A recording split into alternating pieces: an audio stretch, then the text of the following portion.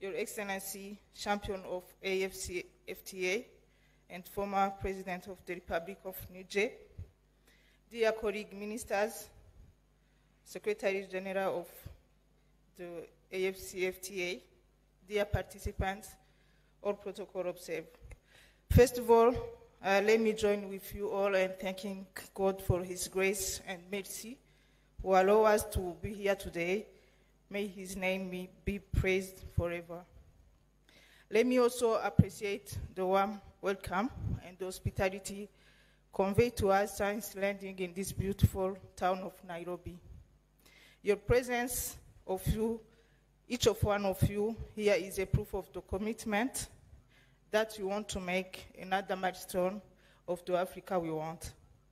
Your Excellency, ladies and gentlemen, the Africa we want, as outlined in the Agenda 2062, is a vision of an integrated, prosperous, and peaceful continent.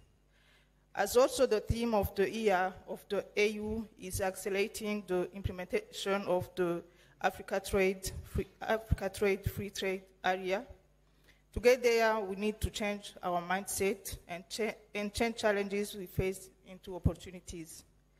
The African Continental Free Trade Area is one of the solutions of some socio-economic challenges that we faced.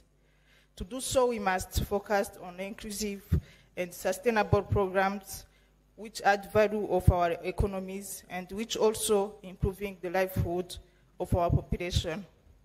On that line, no one can ignore the role played by the private sector, especially as the key motto of, for industrialization and trading.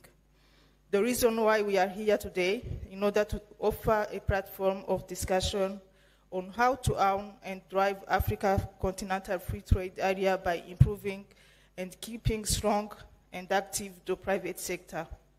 I hope by the end of the day, we come up with a roadmap in order to unlock trade and investment opportunity within Africa. I believe that it's a good opportunity for all of us, ever and now, to embark the private sector in the process of implementation of the African Continental Free Trade Area. Let's take this advantage and make intra-trade happening. I wish you a fruitful dialogue, dialogue and deliberation. God bless you.